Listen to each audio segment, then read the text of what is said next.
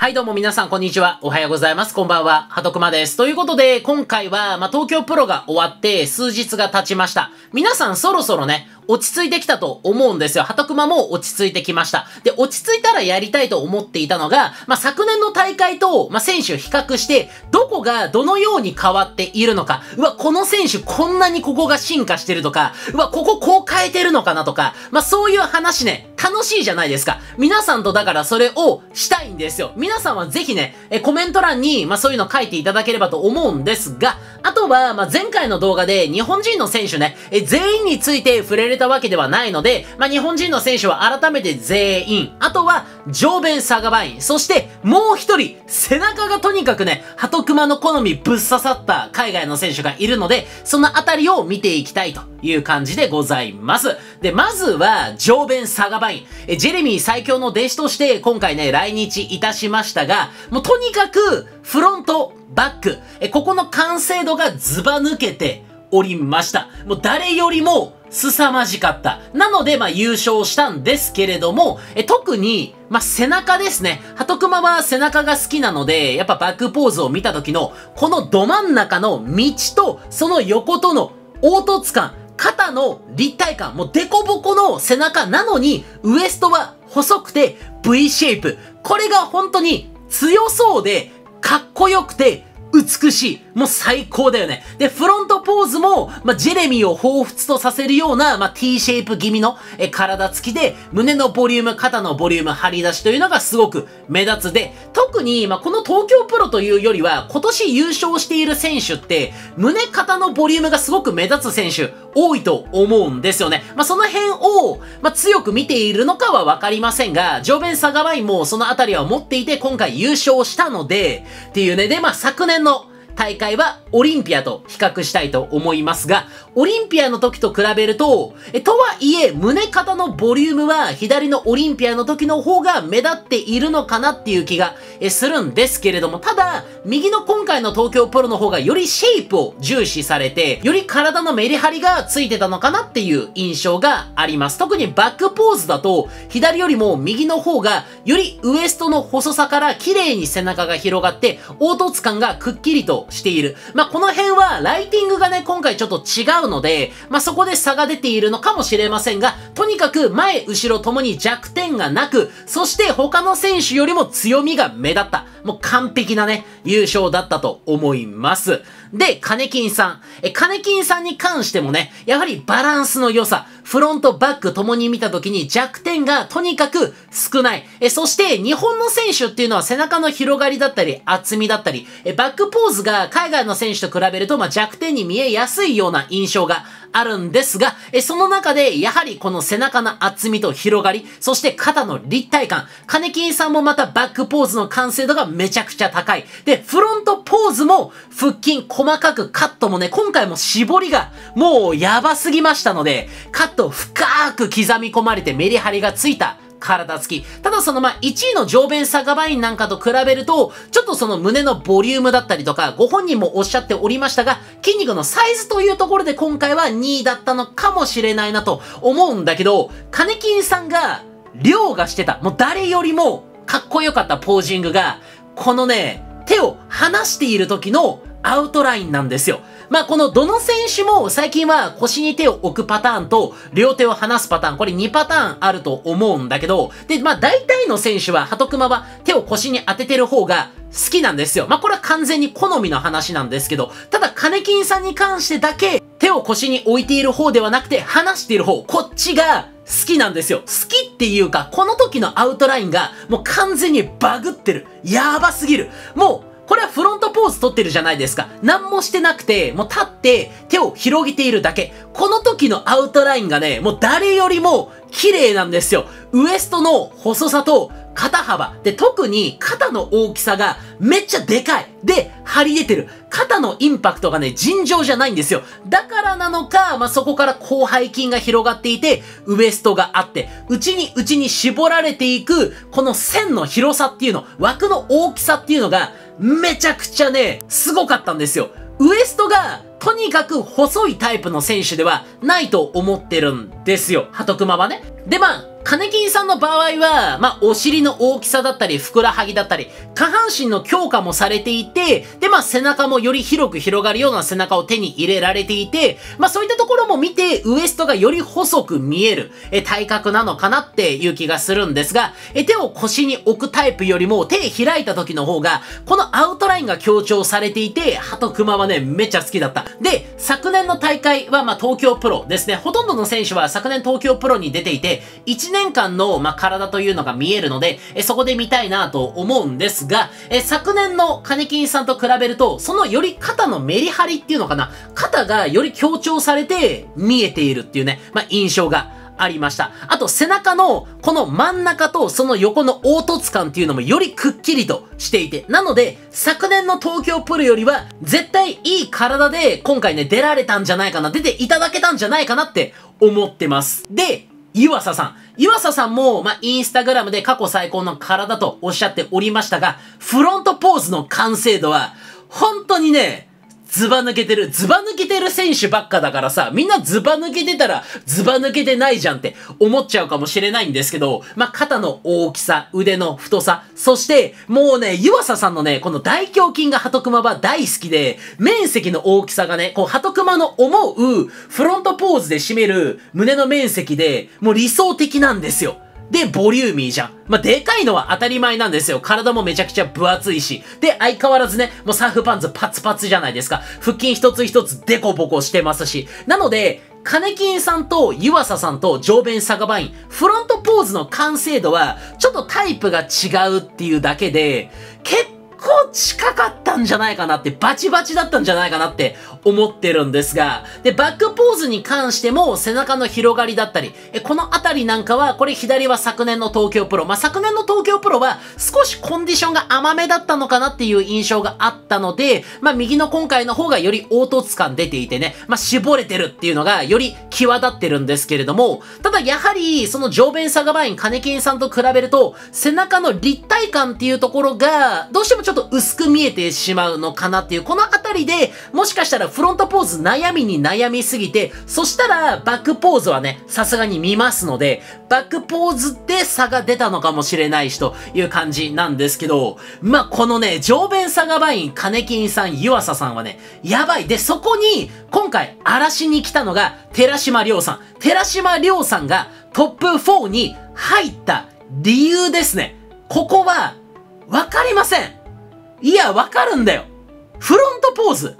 ここが昨年よりさらにアウトライン大きく広がって、まあ、要はサイズアップされて、そして、やはり、寺島亮さんといえば、絞り。まあ、今回、金金さんも上弁サガバイも湯浅さんも、絞りやばかったんですけど、コンディションだけで言えば、まあ、トップ2、トップ3、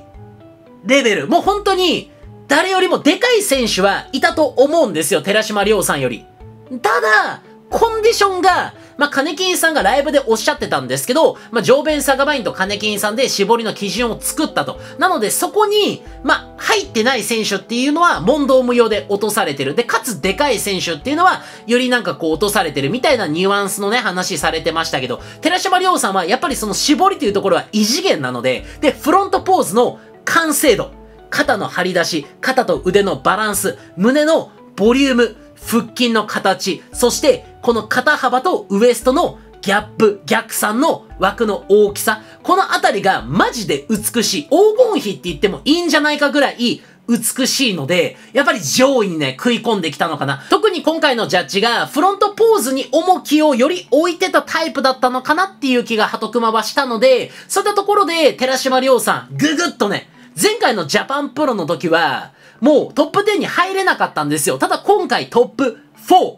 8ヶ月ぐらいでですよ。マジで、すごい。で、あとはバックポーズですね。え、左が前回のジャパンプロ、右が今回の東京プロで、前回と比べると背中の厚みがかなりついている。あとはポージングの取り方を変えられたのが、肩の立体感っていうのがより目立つようになってはいるんですが、ただトップ3と比べると背中の広がり、え、厚みというところが、まだどうしても狭く薄く見えてしまうのかなっていう気がするので、ここからさらにサイズがついていけば、バックポーズもより強くなれば、バックフロントのバランスも取れて、よりね、わかりますよねあとは皆さん。もうオリンピアですよ。お次が佐藤翔吾さんですね。え、トップ5に入られて、ただ佐藤翔吾さんもやばいのは、もうどの大会も安定してファーストコールには絶対入る。この強さっていうのが、やっぱあるんですよね。で、佐藤翔吾さんも手離すタイプと腰に置くタイプ両方やられてるんですけど、ハトクマの好みは手腰に置いてるタイプ。こっちの方がなんか V シェイプ強調されてるように見えるから。まあ、これ好みの話なんですけど。で、バックポーズ、背中ど真ん中の盛り上がりはやっぱり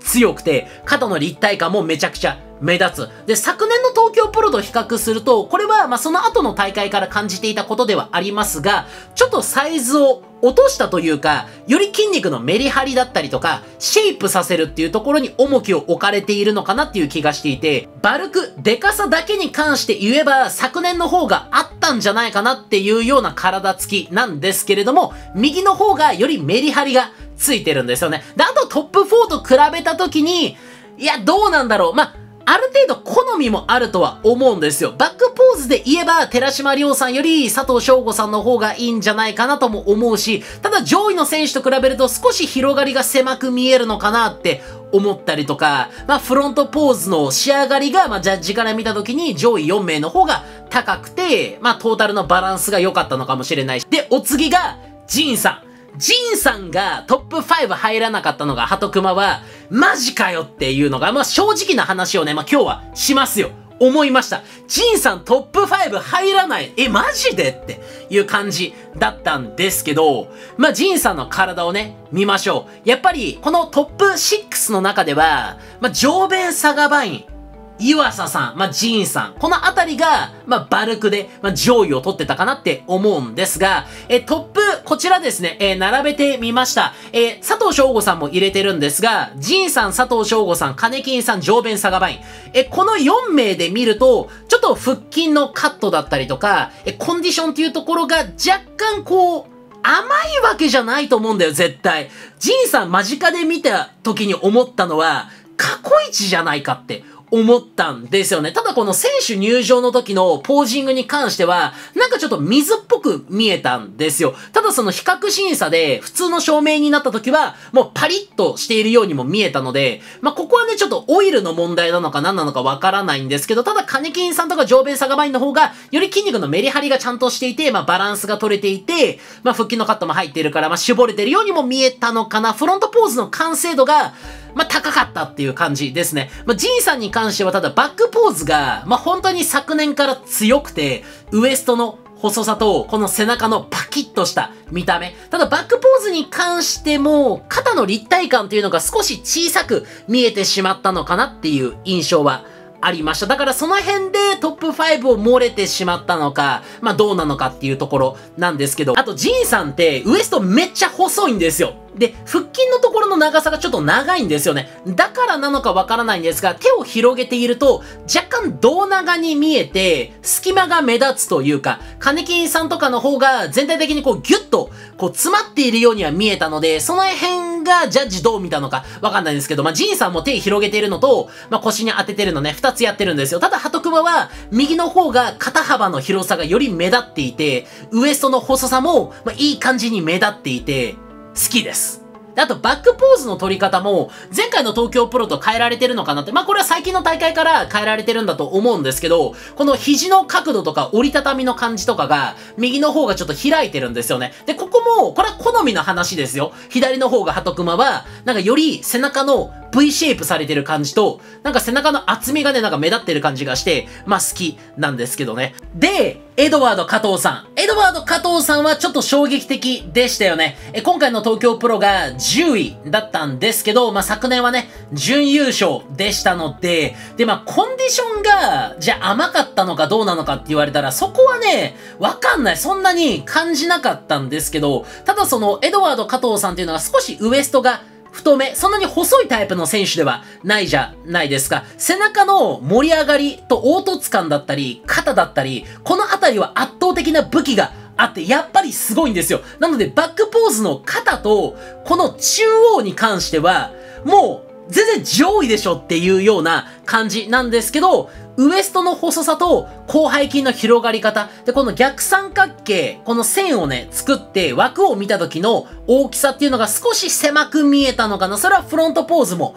えそうなんですけど。で、あとは、ハトクマ的に、昨年の方がなんか肩がより目立っていて、迫力はあったのかなって。その、今年の方が、よりウエストの細さを目立つような形になってたりとか、あとは、肩以外の部分と肩とのバランスが整ってるようには見えるので、なので、よりトータルバランスを整えてきたっていう風には感じるんですけれども、え昨年左側の時の方がなんかインパクトはすごくあったなっていう感じですね。皆さんはいかがでしょうか？え、そしてお次がですね、岡田良平さんですね。岡田さんは前回のジャパンプロでトップ5に入るということで、今回もね、期待されていた方多いと思うんですけれども、え、岡田さんに関しては、え、前回のジャパンプロと比べると少しコンディションの部分があったのかなっていう、その腹筋だったりとか、ウエストの細さだったりとか、肩腕なんかはめちゃくちゃぶっとくて、まあ皆さんご存知、ハトクマは太くてでかい選手がメンズフィジークだろうが大好きなので、岡田さんのこのフォルムっていうのは、もうドンピシャで、ハトクマのね、このハートズッキュンしてくるわけですよ。ただ上位の選手と比べると、まあそのコンディションというところから出てくる筋肉のメリハリだったりとか、そういったところがフロントバックともに、ちょっと見えてしまったのかなっていう印象がありました。ただ、やはり、フロントポーズ、バックポーズともに、バランスがね、よく左右対称で、もう岡田さんはね、やっぱその金金さんとか、まあ、寺島さんとか、バランスタイプとして、やっぱメンズフィジークはフロントバックで見たとき、そして過度な筋肉つきすぎてない見た目っていうところで、バランスかなり重要視されていると思いますので、ドンピシャにね、当てはまると思うんだよね。だから、まあ、次の大会がどこなのかはわかりませんが、まあ、この先もね、めっちゃ楽しみな選手。またこれね、どの選手にも言うと思うんで、先に言っときます。あの、全員めっちゃ楽しみな、まあ、選手なんですけど、えただ進化という部分で話すのでであれば、より背中が広く広がっていたりとか、まあ、こういった強化というのは、えー、前回のジャパンプロよりもされてるんじゃないかなっていう。気に、ハトクマは。なりました。そして、お次が、宝村夏樹さんですね。え、夏樹さんに関しては、前回ジャパンプロ出られましたが、今回の東京プロ2戦目、まあ、最年少のプロですので、まあ、この成長率というのはもう計り知れませんというところで、まあ、今回の結果なんですが、まあ、15位、え、順位つかずという結果ではございました。え、ただ、前回のジャパンプロの時よりも、この方もですね、背中の方が、なんか、ハトクマは分かりやすかったんですけど、より広がりというところが強化されていたりとか、また、ポージングをね、えー、宝村選手も変えているからなのか、肩の立体感が目立っていたりとか、こういった進化は目立ったんじゃないかなと思います。ただ、サイズというところで、まだ少し、上位の選手と比べると、ボリュームが少しこう、小さく見えてしまうような印象はありました。そして、最後が、市川選手ですね。市川さんに関しても、背中の進化というのは前回の東京プロから結構わかりやすく出てるんじゃないかなって思っていて、え今回も絞りがね、すごく良かったっていうのもあると思うんですけど、より筋肉の